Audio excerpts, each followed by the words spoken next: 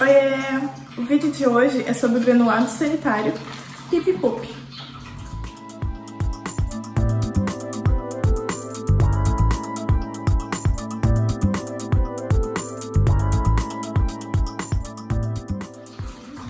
Esse pacotinho aqui, ele tem 4 quilos e me custou 9,89. Ou seja, é um granulado aí de um valor bem acessível até, comparado com vários outros que eu já testei aqui no canal. Bom, o cenário de uso dele foi para todos os meus gatos. Eu coloquei ele em uma caixinha de areia que fica no que eu chamo de quarto dos filhotes eu já expliquei a disposição das caixinhas de areia aqui de casa, tem um vídeo só sobre isso. Uh, mas essa caixinha de areia, ela tinha... Todos os meus gatos tinham acesso a ela. Então, sete gatos. Sendo desses sete gatos, duas fêmeas e todos eles são castrados, todos eles são adultos. Porém, o Adam e o Oliver raramente usam essas caixinhas. O Adam, até eu já vi usar algumas vezes, o Oliver, não sei se ele tá usando. Então, quase meio que dá pra descontar dois aí. Eu, obviamente, não sou fiscal 100% da caixinha de areia, não tô olhando, olhando 100% do tempo pra ver se eles usaram ou não. Mas eu duvido muito que Adam e Oliver tenham, de fato, utilizado essa daqui. Então, seria mais ali os cinco pequenos. Ok? Buenas!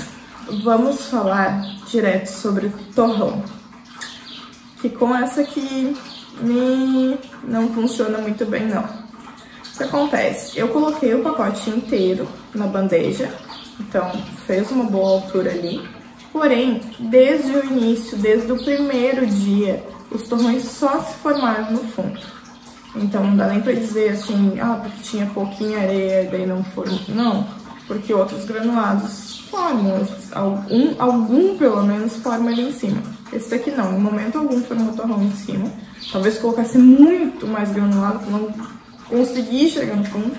Mas coloquei o pacote inteiro na caixinha e só no fundo. E assim, formando esses torrões só no fundo, foi bem problemático.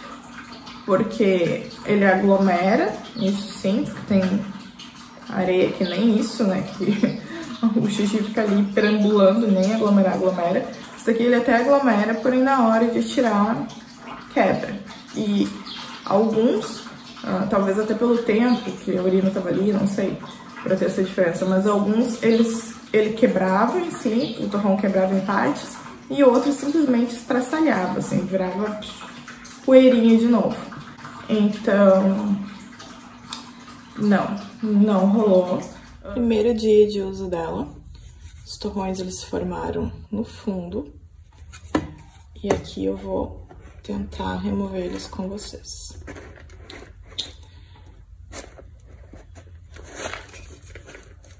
Então, como vocês podem ver...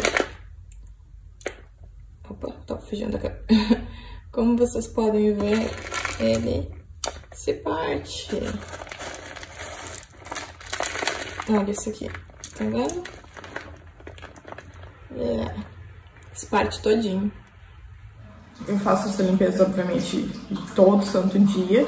E todo santo dia eu vi essa questão de que torrão nenhum em cima. Obviamente, conforme foi diminuindo a quantidade de areia que eu não saí repondo, isso ia ficar mais óbvio.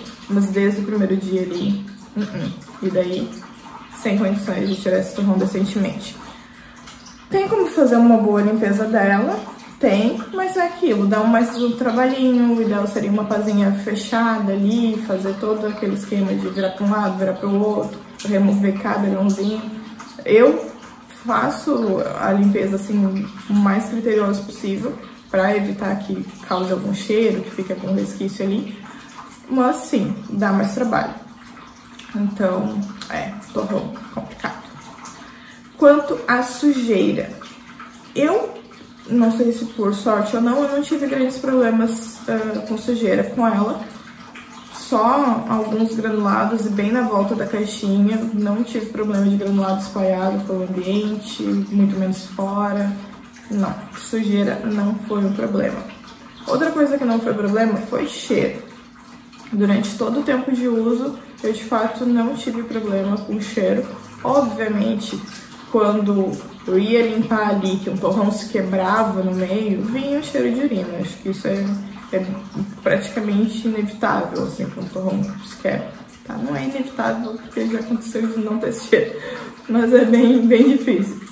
Mas, no geral, assim, a caixinha ou o resto da areia que fica ali, né, depois da limpeza, não tinha cheiro, cheiro no ambiente também não. Então, isso não foi um problema aqui. Mas lembrando, eu fiz a manutenção mais corretinha possível, mais perfeitinha possível. Apesar de o torrão ter se quebrado monte, estar se quebrando um monte, eu tirava toda aquela areia que ficava ali, todo o restinho, resquício de torrão que ficava por ali, tá? Então isso provavelmente contribuiu para que não houvesse cheiro durante todo esse tempo de uso.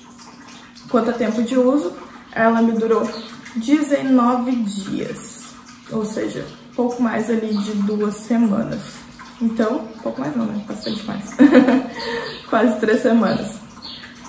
Um período bem, bem positivo, um período uh, extremamente aceitável para a situação que eu tenho aqui. Ah, perdão, eu acho que eu não comentei, né? Que além dessa caixinha, os gatos aqui de casa têm acesso a outras 10 caixinhas de areia, tá? Não é só essa daqui, definitivamente não é só uma caixinha de areia para sete gatos. São 11 caixinhas de areia para sete gatos.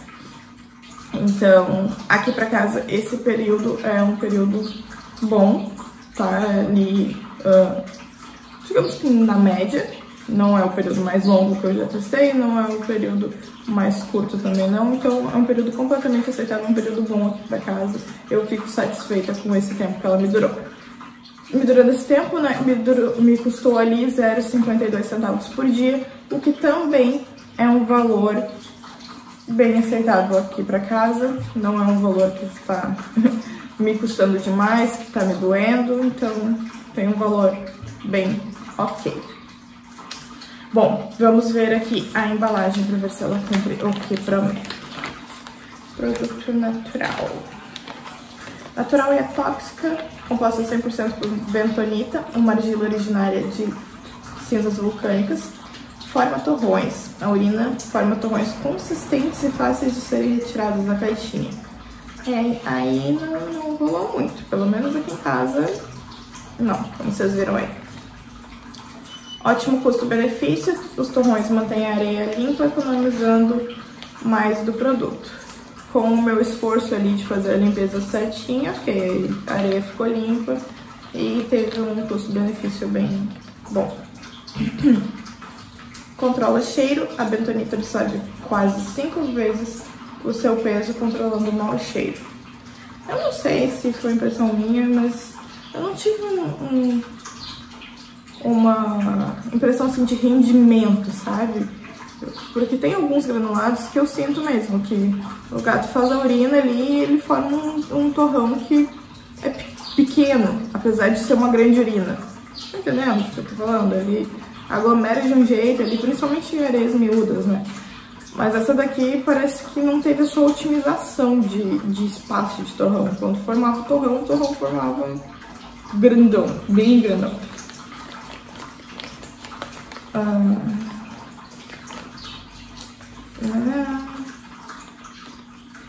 Biodegradável, ao invés de descartá-la, a areia serve de adubo para o seu jardim. Porém, aqui tem uma notificação, tá? Não descarte no vaso sanitário. Então, é no jardim mesmo que pode descartar ela, não no vaso sanitário. E aqui diz que é premium, diferente das argilas comuns, a bentonita é absurdamente aglutinante. Tá. Preparação. Enche a caixinha do seu gato com uma camada de 5 centímetros de altura de pipipu. Pipipu. Pipipu. é engraçado de falar isso. Bom, gente. 5 centímetros? Acho que foi. Acho que foi, né? Mais ou menos isso. Como funciona? A urina do seu gatinho transforma-se em um torrão que controla o mau cheiro na caixinha. E aqui temos um gato bem indignadinho, se lambendo. Que bonitinho. Uma coisa eu não posso reclamar. A identidade visual desse granulado é muito bonitinha. Parabéns para quem o fez.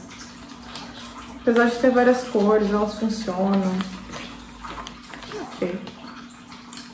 Uh, manutenção, retira os torrões formados pelas fezes, pela, pela urina e fezes, reaproveitando o restante da areia. Ok, fizemos. Se necessário, complete com mais pipicu. Uh, então,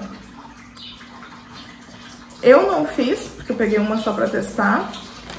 Não acho que colocando, né, repondo ia ajudar alguma coisa, porque desde o primeiro dia os torrões estavam lá no fundo.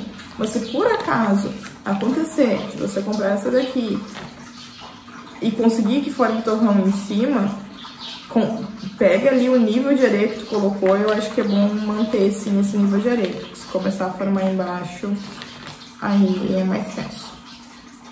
Se necessário, galera, bom, já falei isso. E após 3, 4 semanas, troque toda a areia. Que foi ali o que fizemos. Controle cheiro, econômico, forma tomate. Bom, veredito deste granulado. Os gatinhos gostaram, eles usaram assim para tudo. Não foi um, meu Deus, só quero usar essa areia, mas eles usaram com uma boa frequência. Dá pra dizer que eles gostaram. Então, amor, mas gostaram.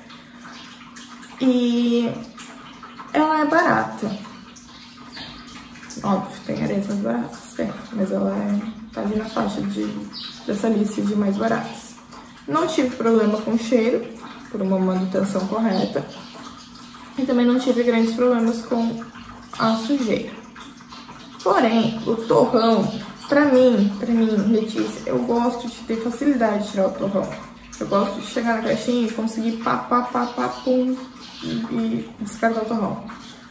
Não, essa coisa de ficar tendo que catar ali, torrão se quebrando e correndo risco dos próprios gatinhos, às vezes, ir lá e destruir o torrão no meio do caminho. Isso eu acho bem chatinho, então não é uma coisa que eu goste, essa questão do torrão não funcionar. Se você não tem tanto problema com torrão, o teu, tua questão mesmo é Cara, eu tiro o torrão da forma que tiver que ser tirada, passando o trabalho que tiver que ser passado. E aqui tem um de moda, então vai demorando pra aparecer, né? E o que eu quero mesmo é conseguir uma areia um pouco mais barata e que não, não deixe cheiro no final. Ok, aí vale, vale testar ela. Mas se teu, tua questão mesmo é ter um torrão perfeitinho, essa daqui não é uma areia pretinha. Então, como sempre, tem para algumas pessoas vai funcionar, para outras não. Vocês já utilizaram esse granulado, comenta aqui como é que foi o uso, quantos gatinhos, quantas caixinhas, quanto tempo durou, como é que foram os torrões, pra gente ter essa troca de experiência. E por hoje não é isso, gente. Deixa um like no vídeo, compartilha, se inscreve no canal e também me segue no Instagram pra ver fotos dos gatinhos. Até a próxima!